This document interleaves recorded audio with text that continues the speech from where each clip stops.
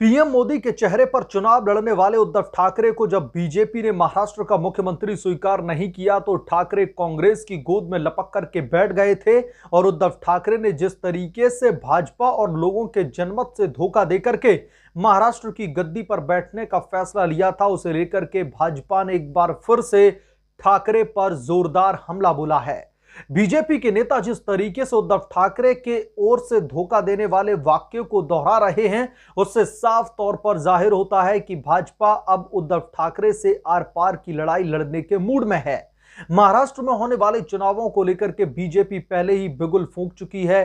BJP का focus है कि कैसे भी करके जनता के बीच में यह भरोसा दिलाया जाए कि ठाकरे ने ही भारतीय जनता पार्टी को धोखा देकर के साल 2019 के विधानसभा चुनाव में शरद पवार के इशारे पर कांग्रेस की गोद में बैठने का निर्णय लिया था। जो कि साफ़ तौर पर बाला साहेब ठाकरे के विचारों पर कुठाराघात था।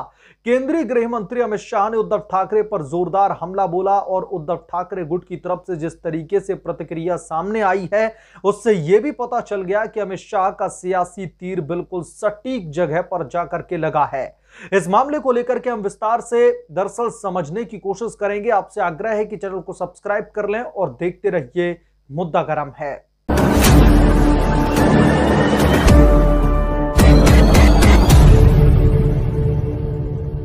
केंद्रीय गृह मंत्री अमित शाह ने महाराष्ट्र में एक रैली के दौरान उद्धव ठाकरे गुट की शिवसेना पर जोरदार हमला बोला है। अमित शाह ने ठाकरे पर 2019 में महाराष्ट्र विधानसभा चुनाव के बाद मुख्यमंत्री पद के लिए राष्ट्रवादी कांग्रेस पार्टी और कांग्रेस से हाथ मिलाकर भाजपा को धोखा देने का गंभीर आरोप लगाया।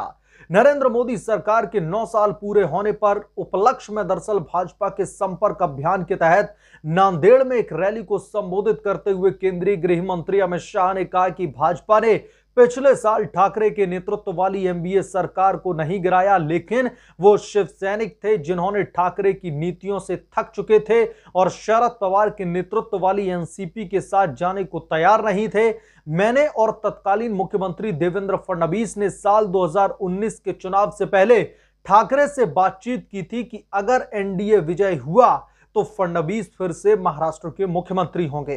इस पर उद्धव ठाकरे ने सहमति जताई थी। हालाँकि चुनाव परिणाम के बाद ठाकरे ने अपना वादा तोड़ दिया और कांग्रेस एनसीपी की गोद में बैठ गए।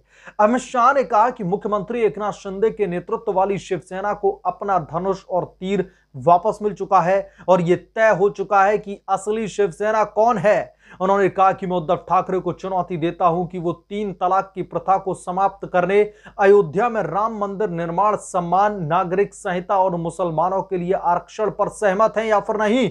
इस पर अपना रुख स्पष्ट करें। अमित शाह ने ठाकरे पर निशाना साधते हुए कहा कि आप दो पत्थरों पर खड़े नहीं हो सकते। आप राज्य के लोगों के सामने दरअसल बेनकाब पूरी तरीके से हो चुके हैं। केंद्रीय गृह मंत्री अमित शाह ने कहा कि कोविड 19 महामारी के दौरान जब पीएम मोदी देशवासियों को वैक्सीन दे रहे थे, तब उद्धव ठाकरे कार्यालय तक नहीं गए। कोविड 19 महामारी के दौरान कार्यालय नहीं जाने के लिए ठाकरे की आलोचना का सामना दरअसल करना पड़ा था और लगातार इस वाक्यों ले, वाक्य को लेकर के उद्धव ठाकरे को पानी पी पी करके कोसा जा रहा है। भाजपा उद्धव ठाकरे को लपेटे में ले और संजय राउत मौन धारण किए बैठे रहे, ऐसा हो नहीं सकता। केंद्रीय गृह मंत्री अमित शाह के उद्धव ठाकरे पर हमले के तुरंत बाद अब उद्धव ठाकरे गुट के नेता संजय राउत का बयान आया है या फिर यूँ कहें कि प्रतिक्रिया उनकी सामने आई है। संजय राउत ने कहा कि अमित शाह के 20 मिनट के भाषण में उन्होंने लगभग सात मिनट तक उद्धव ठाकरे पर हमला बोला। जो कि यह साबित करता है कि मातोश्री का दबदबा अभी भी कायम है। दरअसल, नांदेड़ में एक रैली को संबोधित करते हुए अमित शाह ने शिवसेना के नेता उद्धव ठाकरे पर हमला बोला था। उन्होंने कहा था कि कांग्रेस और एनसीपी के साथ रहते हुए उद्धव ठाकरे औरंगाबाद का नाम बदलकर संभाजी नगर उस्मानाबाद का नाम बदलकर धाराशिव और अहमदनगर करने का समर्थन नहीं कर सकते। अमित शाह ने ठाकरे पर निशाना साधते हुए कहा कि आप दो नाव पर एक साथ खड़े नहीं हो सकते, या तो आप हिंदुत्व के साथ में खड़े होइए, या फिर हिंदुत्व के खिलाफ। आप राज्य के सामने बेनकाब हो जाएँगे।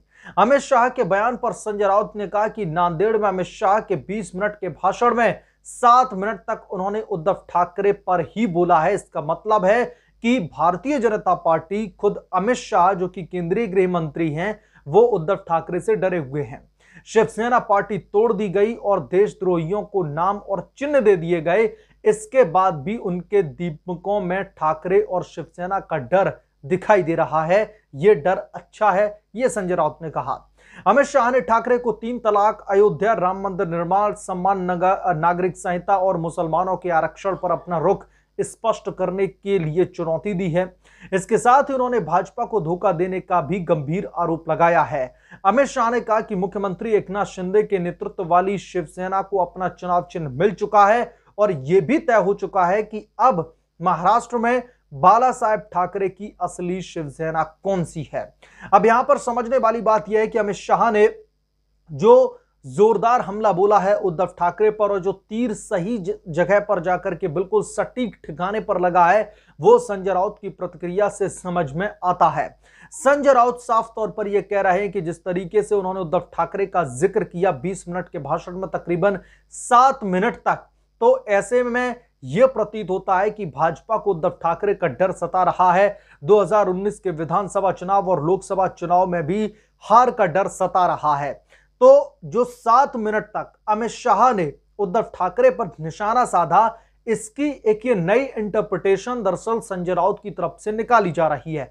तो ऐसे में उद्धव ठाकरे से लेकर के संजय राउत तक और भी तमाम जो नेता हैं बड़े बड़े कद्दावर नेता उद्धव ठाकरे गुट के, मोदी को, देवेंद्र फडणवीस को, एकनाथ शिंदे को, भारतीय जनता पार्टी को पानी पी पी करके कोसते रहते हैं तो क्या 24 घंटे में जो ज़्यादातर घंटों तक ये सोचते रहते हैं कि आखिरकार भाजपा को कैसे लपेटे में लिया जाए, उनके ऊपर कैसे हमला बोले जाए। तो इस हिसाब से क्या उद्धव ठाकरे, संजय राउत और उद्धव ठाकरे गुट के तमाम नेता भाजपा से डरे हुए हैं? क्या वो भाजपा की नीतियों से खौफ खा रहे हैं? उन्हें महाराष्ट्र में होने वाले लोकसभा चुनाव और विधानसभा चुनाव में अपनी जमानत जब्त होने का डर सता रहा है। क्योंकि संजय राउत के हिसाब से तो यही है कि अगर कोई भी नेता एक दूसरे नेता पर हमला बोलता है तो संजय राउत के हिसाब से वो डरे हुए हैं। तो भारतीय जनता पार्टी लगातार उद्धव ठाकरे पर हमलावर है और जैसे जैसे विधानसभा चुनाव की तारीखें, लोकसभा चुनाव की तारीखें नज़दीक आती जा रही हैं, भाजपा लगातार लोगों के बीच में यह संदेश देने की कोशिश कर रही है कि जिस तरीके से मोदी के चेहरे पर प्रधानमंत्री नरेंद्र मोदी के नाम पर महाराष्ट्र में वोट मांगने वाले उद्धव ठाकरे को जब भाजपा ने कुर्सी का ऑफ़र नहीं दिया और ऑफ़र क्यों भी करे, क्योंकि चुनाव से पहले ही यह सारा डिस्कशन हो चुका था कि महाराष्ट्र के अगले मुख्यमंत्री देवेंद्र फडणवीस ही बनेंगे अगर नेशनल डेमोक्रेटिक अलायंस यानी कि एनडीए सत्ता पर काबिज होता है तो। तो उस समय उद्धव ठाकरे ने साफ़ तौर पर सहमति जताई थी, लेकिन जैसे ही चुनावी रिज़ल्ट डिक्लेयर होते हैं, महाराष्ट्र के मुख्यमंत्री बनने की जो है रोधन शुरू हो जाती है उद्धव ठाकरे की तरफ़ से और जिसे भाजपा साफ़ तौर पर अस्वीकार कर देती है और वो शरद पवार और कांग्रेस की गोद में जाकर के बैठ जाते हैं, जैसा कि अमित शाह की तरफ़ से आरोप लगाया गया और इस आरोप से बुरी तरीके से उद्धव ठाकरे गुट के नेता संजय राउत बिलबिला उठे हैं। बहरहाल, इस मामले पर आपकी क्या राय है, हमें कमेंट करके ज़रूर बताएँ। जल्द मिलूँगा किसी दूसरे बड़े अपडेट के साथ में। अगर आप लोग चैनल पर नए हैं तो प्लीज़ चैनल को सब्सक्राइब कर लें साइड बड़े बेलाइकन को भी प्रेस कर लें, ताकि जैसे ही मैं कोई नया वीडियो रिलीज़ करूँ तो इसकी जानकारी सबसे पहले आपको लगे।